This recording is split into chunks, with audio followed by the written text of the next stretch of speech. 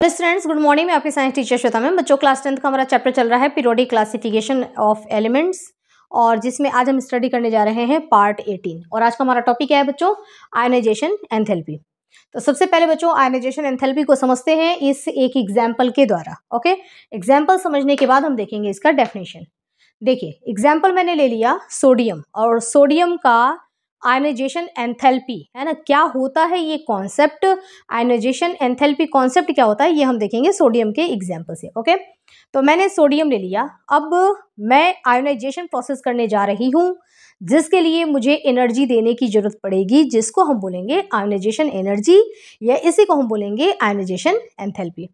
तो सोडियम मैंने लिया, जो कि सोडियम क्या होता है, काफ़ी रिएक्टिव होता है, इसलिए सोडियम को क्या किया जाता है, किरोसिन ऑयल के अंदर डुबा करके रखा जाता है, ये मैंने आपको कई बार बताया, ठीक है?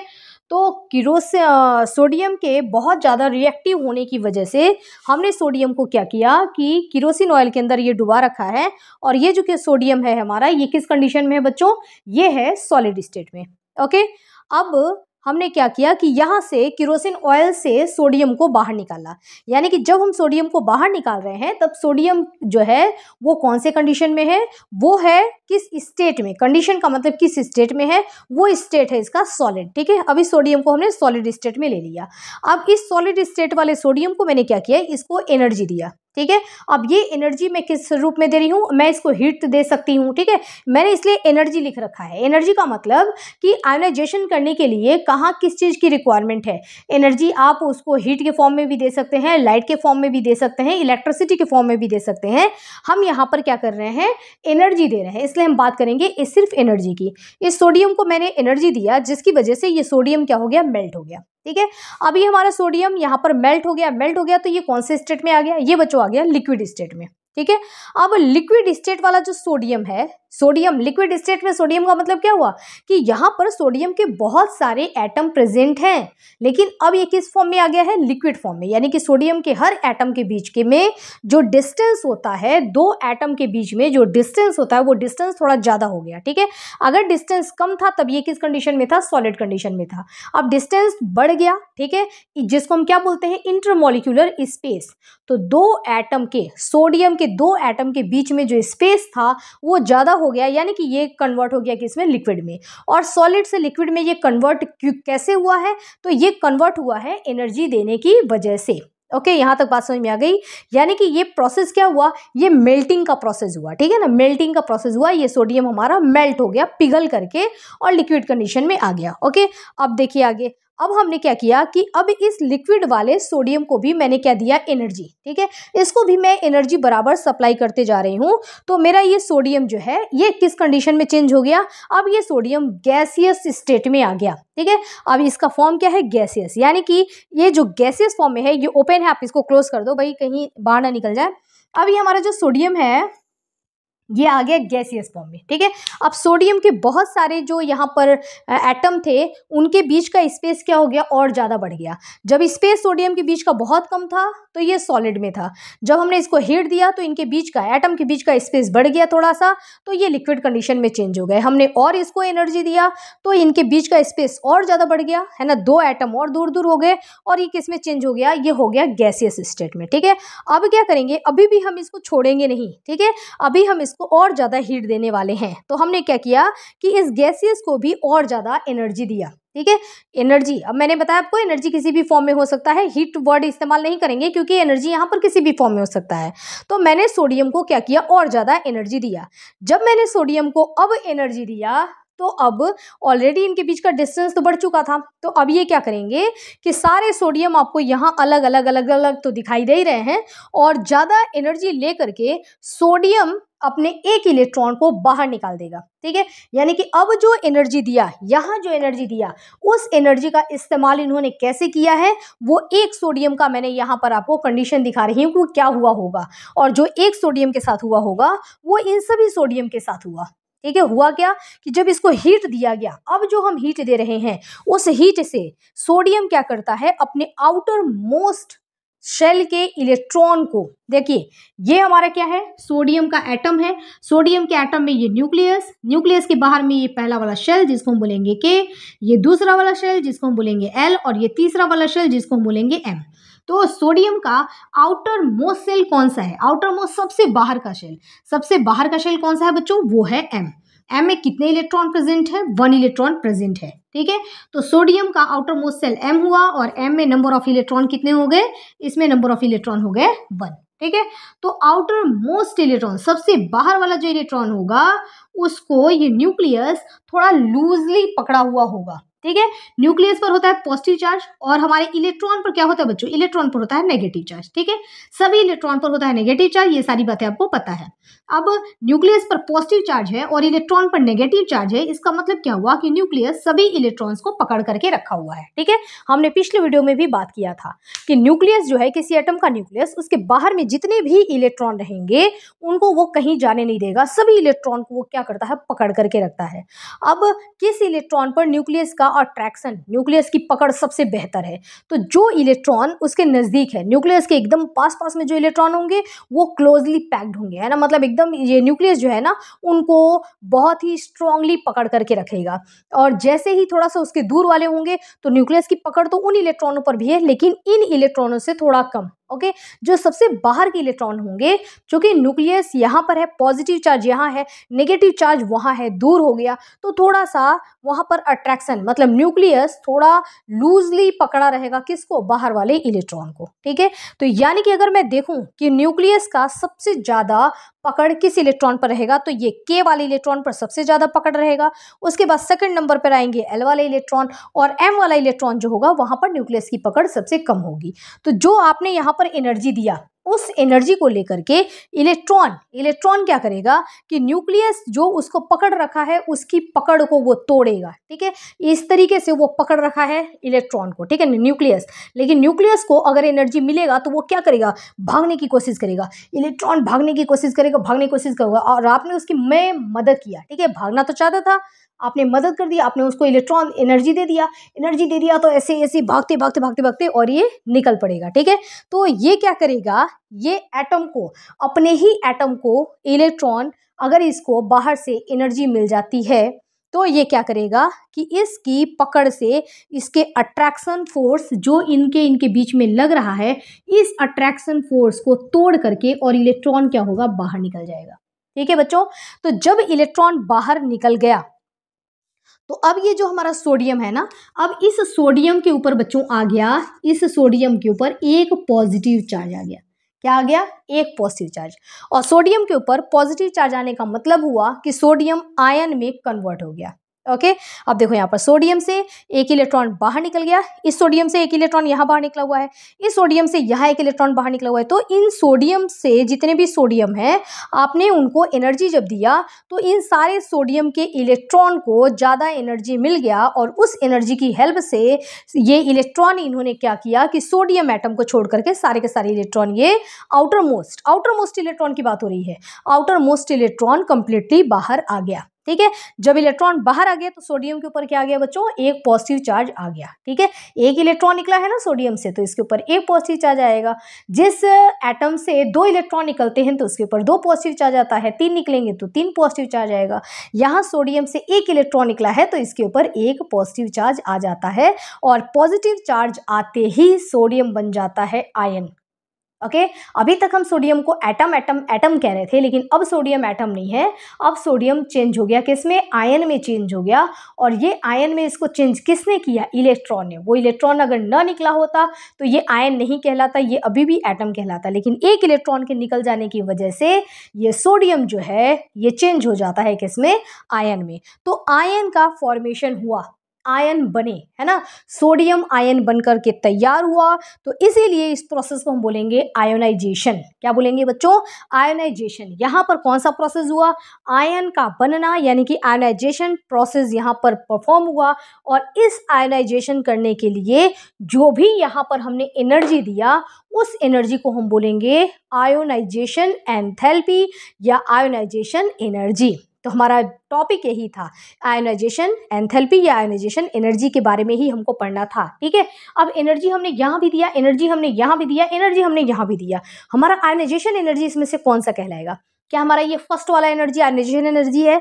नहीं। फ़र्स्ट वाला एनर्जी हमारा आयोनाइजेशन एनर्जी नहीं है। फ़र्स्ट वाला एनर्जी में तो हम सॉलिड को लिक्विड में मेल्ट कर रहे हैं ना मतलब मेल्ट करने के लिए, सॉलिड से लिक्विड में कन्वर्ट करने के लिए हमने एनर्जी दिया। तो ये हमारा आयोनाइजेशन एनर्जी कहाँ हुआ? नहीं हुआ। अब क्या सेकेंड वाला हमारा आयोनाइजेशन एनर्जी है? नहीं, सेकेंड वाला भी नहीं है। क्योंकि सेकेंड में तो हमने क्या किया? है एनर्जी दे करके लिक्विड को हमने गैसेस में कन्वर्ट किया। तो अभी तो गैसेस में कन्वर्ट हुआ है। अभी भी ये तो एटम ही है ना, आयन थोड़ी बनने हैं। तो आयन में ये चेंज हुए नहीं, इस वजह से ये एनर्जी भी हमारा क्या था? ये एनर्जी भी आयनाइजेशन एनर्जी नहीं था। अब जब हमने यहाँ से और यहाँ का सिचुएशन देखो, अब जब हमने इन एटम को एनर्जी दिया, अभी यहाँ N A N A N A ही दिखाई दे रहे हैं। इनको एनर्जी हमने दिया तो अब हमको N A plus N A plus N A plus N A plus दिखाई दे रहे हैं। यानी कि वहाँ से यहाँ में चेंजेस हुआ है तो यहाँ जो एनर्जी दी गई, जिसकी वजह से ये कंडीशन आ गया है, उस एनर्जी को हम बोलेंगे आयोनाइजेशन एनर्जी या आयोनाइजेशन एंथैल्पी ओके बच्चों, ये पूरी पूरी सिस्टम आपको ये समझ में आ गया होगा कि आयोनाइजेशन क्या कहलाता है। अब आप देखिए definition ionization energy is defined as the minimum amount of energy ठीक है? वह मिनिमम अमाउंट ऑफ़ एनर्जी ठीक है? कम से कम उतनी एनर्जी कम से कम उतनी energy require to remove the जो रिक्वायर है, ठीक है? मतलब ज़रूरी है। कम से कम वो एनर्जी जो ज़रूरी है remove the most loosely bound electron जो कि ज़रूरी है मोस्ट लूजली बाउंड इलेक्ट्रॉन इस पूरे में सबसे हल्का बंधा हुआ इलेक्ट्रॉन कौन सा है? सबसे बाहर वाला, जो न्यूक्लियस से सबसे ज़्यादा डिस्टेंस पर रहेगा, यानी कि वैलेंस इलेक्ट्रॉन जो सबसे डिस्टेंस पर है, वो लूजली बाउंड इलेक्ट्रॉन होगा। मतलब बंधा हुआ नहीं होगा ज़्यादा किसके द्वारा? न्यूक्लियस के द्वारा, ठीक है? Loosely bound electron of an isolated neutral gaseous. ध्यान देना, आइसोलेटेड का मतलब होता है एक अकेला अकेला सोडियम। जब भी हम आयनाइजेशन एंथैल्पी की बात करेंगे तो सोडियम किसी के साथ बंधा हुआ नहीं होना चाहिए, आइसोलेटेड होना चाहिए। आप यहाँ पर देख रहे हैं कि मैंने यहाँ पर जो सोडियम लिया है, क्या इस सोडियम के साथ बॉन्ड लगा करके कोई दूसरा भी जुड़ा हुआ है क्या? इस सोडियम के साथ क्या कहीं क्लोरीन आपको जुड़ा हुआ दिखाई दे रहा है या इस सोडियम के साथ कहीं आपको हाइड्रोजन जुड़ा हुआ दिखाई दे रहा है, नहीं, ऐसा कुछ नहीं है। सोडियम हमारा अकेले है। तो अकेले जब हम आयोनाइजेशन एनर्जी की बात करेंगे ना, जब हम इसको डिटरमाइन करेंगे तो उस समय एटम अकेला होना चाहिए। ठीक है? अकेला। हमको अकेले पे वार करना है। यदि ये किसी और के साथ झुंड में है, अगर ये सोडियम दो हाइड्रोजन के साथ, सॉरी, एक हाइड्रोजन के साथ जुड़ा हुआ है, या यदि ये सोडियम जो है वो क्लोरीन के साथ जुड़ा हुआ है तो किसी के साथ अगर ये सोडियम है ना, तब हमको इस सोडियम के ऊपर वार नहीं करना है। ठीक है? हमको सोडियम के ऊपर वार कब करना है? कब इसको हमको मिनिमम एनर्जी देनी है जब हमारा सोडियम अकेले हो। ठीक है? तो पहला कंडीशन की आइसोलेटेड होना चाहिए, अकेला होना चाहिए। दूसरा कंडीशन गैसियस स्टेट में होना चाहिए। तो देखो, हमने वही सब काम तो किया है है ना? हमने सोडियम को अकेला किया और हमने सोडियम को गैसियस स्टेट में लाया, ठीक है? हमने सॉलिड से ही तुरंत आयोनाइजेशन तो कर नहीं दिया, है ना? क्योंकि सॉलिड से हम कर ही नहीं सकते। सॉलिड अगर हमारा सोडियम है तो उसके आउटर मोस्ट से आप एक इलेक्ट्रॉन निकाल नहीं सकते हैं। ठीक है? तो यहाँ से तो हम एक इलेक्ट्रॉन निकाल ही नहीं सकते लिक्विड से भी एक इलेक्ट्रॉन निकाल ही नहीं सकते। इसके लिए हमको क्या करना पड़ेगा? हमको सोडियम को एक अकेला पहले एटम रखना पड़ेगा कि तुम एकदम अकेले हो जाओ और दूसरी तुम्हारी कंडीशन क्या होनी चाहिए कि तुम गैसेस स्टेट में रहोगे, तब तुम्हारे ऊपर वार करेंगे और तब तुम्हारे इलेक्ट्रॉन को बाहर निकालेंगे। तो कंडीशन अप्लाई जो हो रहा है बच्चों, उस पर खास फोकस करना है। बच्चे डेफिनेशन लिखने में इन बातों को बहुत लाइटली लेते हैं और लिखना भूल जाते हैं। तो ये चीज़ लिखना ज़रूरी है, ठीक है? पहला क्या? आइसोलेटेड होना चाहिए। दूसरा क्या? न्यूट्रल होना चाहिए। देखो, ये न्यूट्रल ठीक है न्यूट्रल हो भी सकता है या न्यूट्रल नहीं भी हो सकता है ना? जैसे एक इलेक्ट्रॉन निकल गया तो मान लो कि वो आयन हो गया। अब हम दूसरा इलेक्ट्रॉन निकालने जाएँगे तो वो न्यूट्रल नहीं रहेगा, ठीक है? तो इस बात पर आप ज़्यादा फोकस करना कि आइसोलेटेड होना चाहिए, अकेले होना चाहिए और गैसियस कंडीशन में होना चाहिए एटम के फॉर्म में होना चाहिए, अकेले एटम के फॉर्म में, ठीक है? और मॉलिक्यूल है ना? आइसोलेटेड न्यूट्रल गैसियस एटम और molecule okay? The energy required to remove the first electron is called uh, ionization energy. तो एक इलेक्ट्रॉन को निकालने के लिए ठीक है? इस एक सोडियम uh, के आउटर मोस्ट सेल से एक इलेक्ट्रॉन को कंप्लीटली बाहर निकालने के लिए हमने मिनिमम जितनी एनर्जी हमने प्रोवाइड किया उसी एनर्जी के अमाउंट को ही हम क्या बोलते हैं? आयोनाइजेशन एनर्जी ओके ये देखिए, ये हमारा कहलाएगा आयोनाइजेशन एनर्जी ठीक है?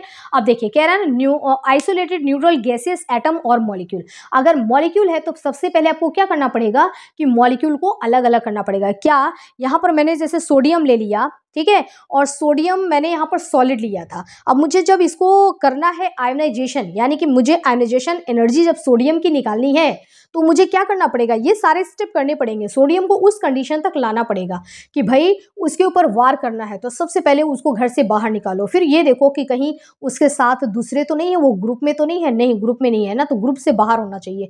तीसरी चीज़ ये देखना है कि कहीं उसके पास भी हथियार तो नहीं है? नहीं, जब ऐसे कंडीशन जब उसके पास हथियार ना हो, तब उसके ऊपर वार करेंगे। तो एक प्लानिंग होती है ना तो आपको भी आयनाइजेशन के लिए एक प्लानिंग करना पड़ेगा कि पहले उसको सॉलिड से लिक्विड में कन्वर्ट करेंगे लिक्विड से गैसियस में कन्वर्ट करेंगे और गैसियस में अब वो कंडीशन आ गया है, अकेला भी है गैसियस कंडीशन में भी है, अब उसको हम एनर्जी देंगे तो उसका लास्ट इलेक्ट्रॉन आसानी से निकल जाएगा। तब उसका लास्ट इलेक्ट्रॉन निकलेगा और हमने जितनी एनर्जी दिया, जितनी हमने ताकत लगाई, इस लास्ट इलेक्ट्रॉन को बाहर निकालने में हमारी वही ताकत, यानी कि हमारी वही एनर्जी जो होगी, वो कहलाएगी आयनाइजेशन एंथैल्पी या आयनाइजेशन एनर्जी जिसको आई आई फॉर आयनाइजेशन और एंथैल्पी ई ठीक है, जिसको आई ई से रिप्रेजेंट किया जाता है, ठीक है? जिसकी वैल्यू चेंज होती है। अगर हमने एक इलेक्ट्रॉन निकाला तो ज़रूरी नहीं है, देखो आउटर मोस्ट हमने यहाँ वाला इलेक्ट्रॉन तो निकाल लिया। आप सोचोगे कि आपने एक इलेक्ट्रॉन निकाल लिया, क्या हम दूसरा इलेक्ट्रॉन नहीं निकाल सकते हैं? बिल्कुल निकाल सकते हैं, ठीक है?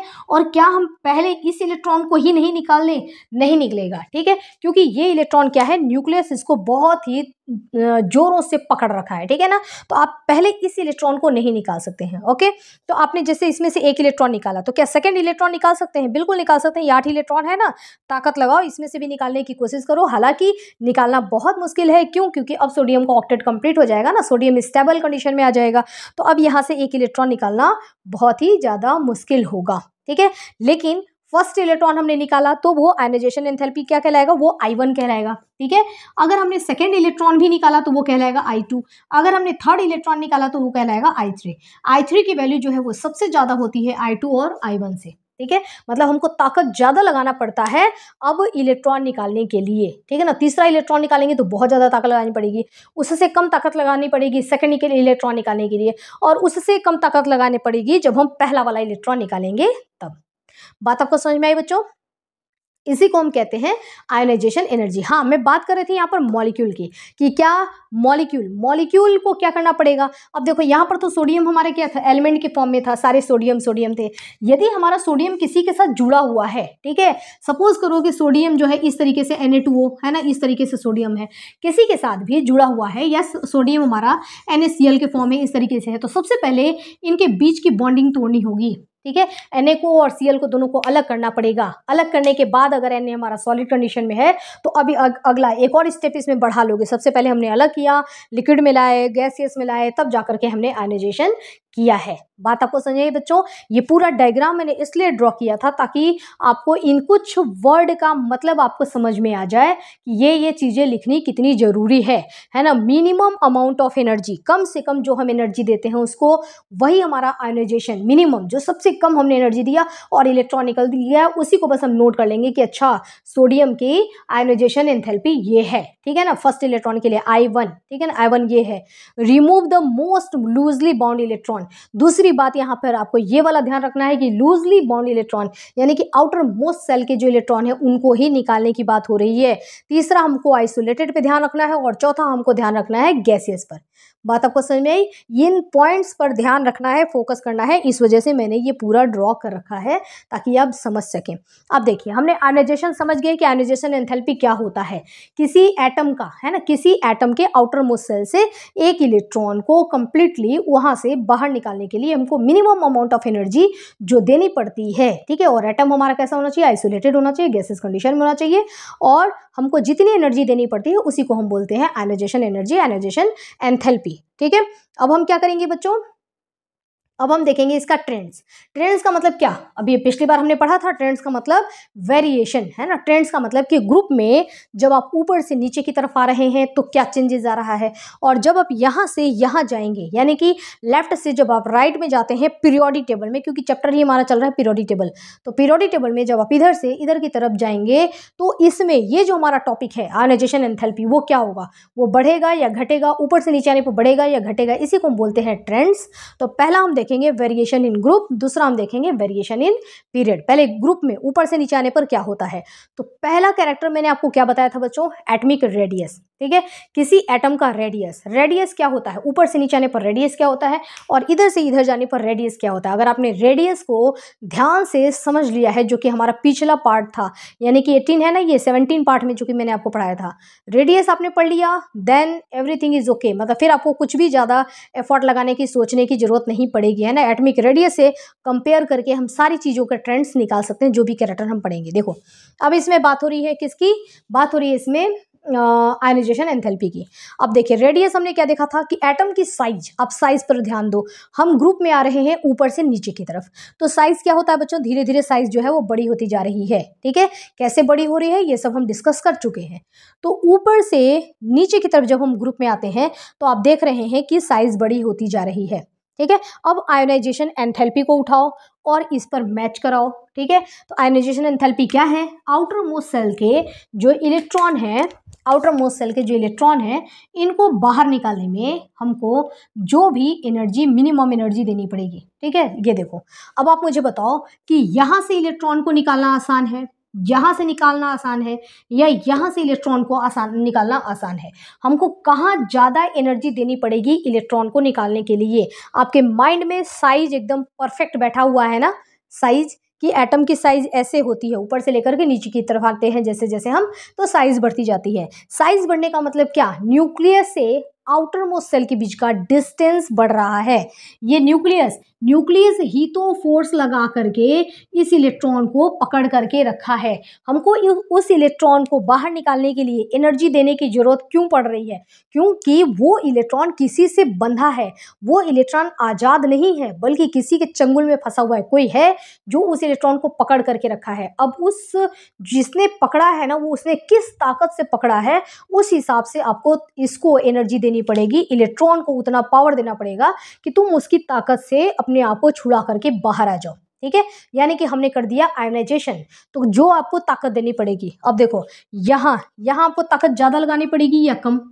सोच के बताओ।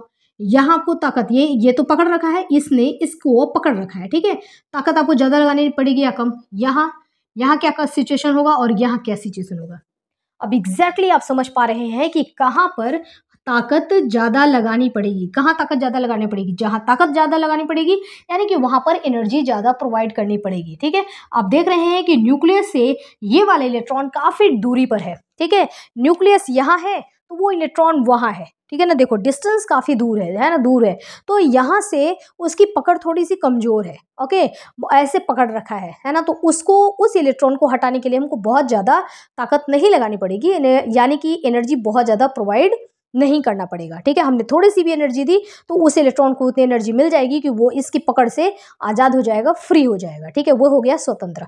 तो यहाँ पर एनर्जी हमको क्या करनी पड़ेगी? कम देनी पड़ेगी। अगर आप यहाँ बात करिए तो वो इलेक्ट्रॉन न्यूक्लियस और इलेक्ट्रॉन के बीच का डिस्टेंस कम है। तो इलेक्ट्रॉन पकड़ रखा है, ऐसे, है ना? ऐसे पकड़ रखा है। अब इसको छुड़ा के दिखाओ, है ना? तो क्या करनी पड़ेगी आपको? छुड़ा तो सकोगे, लेकिन करना क्या पड़ेगा? ताकत ज़्यादा लगानी पड़ेगी, यानी कि आपको एनर्जी ज़्यादा प्रोवाइड करनी पड़ेगी। ठीक है? तो ज़्यादा यहाँ पर एनर्जी प्रोवाइड करोगे मतलब इस इलेक्ट्रॉन को निकालने के लिए आयोनाइजेशन एंथैल्पी की वैल्यू क्या होगी? ज़्यादा होगी। तो यहाँ ज़्यादा, उससे कम उससे कम उससे कम, ठीक है ना? तो ऊपर से नीचे आने पर आपने क्या देखा? आयोनाइजेशन एंथैल्पी की वैल्यू ऊपर से नीचे आने पर घट रही है, ठीक है? तो आपको यही बताना है कि ग्रुप में आयोनाइजेशन एंथैल्पी की वैल्यू ऊपर से नीचे आने पर ग्रुप में टॉप टू बॉटम आने पर डिक्रीज होता है, कम होता जाता है। ओके, बात समझ में आ गया। और इस कम होने का कारण क्या है? उस बाहर वाले, ठीक है ना, बाहर वाले वैलेंस सेल वाले इलेक्ट्रॉन वैलेंस इलेक्ट्रॉन और न्यूक्लियस के बीच का डिस्टेंस यानी कि कुल मिलाकर के बात आ रही है किस पर? एटम की साइज़ पर, ठीक है? साइज़ बड़ा तो आराम से इलेक्ट्रॉन निकाल लो। साइज़ छोटा तो इलेक्ट्रॉन को निकालने में परेशानी होगी। यानी कि सारी बातें किस पर हैं बच्चों? सारी बातें इलेक्ट्रॉ साइज़ पर हैं। यानी कि हम कह सकते हैं ionization enthalpy directly proportional to ठीक है? डायरेक्टली होगा या इनवर्सली देखिए, उल्टा है या एक साथ है? साइज़ देखो। साइज़ छोटी तो एनर्जी ज़्यादा। साइज़ बड़ी तो एनर्जी कम। यानी कि रिलेशन कैसा चल रहा है? अपोजिट रिलेशन चल रहा है। तो हो जाएगा ये inversely proportional to atomic atomic radius okay radius तो ये हो जाएगा हमारा रिलेशनशिप ओके बच्चों, बात आपको समझ में आई? तो ये इसका रिलेशनशिप हुआ, है ना?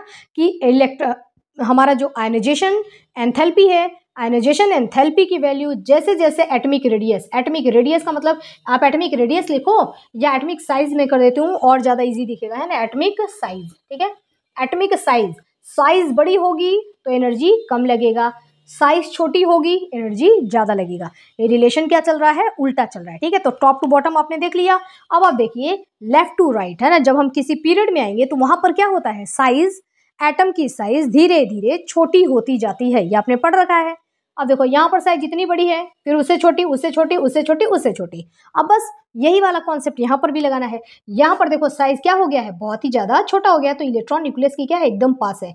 यहाँ इलेक्ट्रॉन न्यूक्लियस से थोड़ा दूर है, यहाँ इलेक्ट्रॉन न्यूक्लियस से थोड़ा और दूर है, यहाँ इलेक्ट्रॉन न्यूक्लियस से थोड़ा और दूर है और यहाँ इलेक्ट्रॉन न्यूक्लियस से इतनी दूरी पे है, ठीक है? मैंने यहाँ पर जो है कौन सा लाइन लिया? यहाँ पर मैं थर्ड वाला लाइन ले रही हूँ। चाहे आप कोई सा भी लाइन लीजिए, है ना? कितने पीरियड होते हैं? सेवन पीरियड होते हैं ना? तो इधर इधर आपके पास सेवन पीरियड है। इन सेवन पीरियड में से आपकी जो इच्छा हो, आपका मन कर रहा है कि मैं पाँचवें पीरियड से चलना शुरू करूँ तो आप फिफ्थ वाले पीरियड से चलते हो तो भी आपको कंडीशन सिचुएशन वही दिखाई देगा, ठीक है?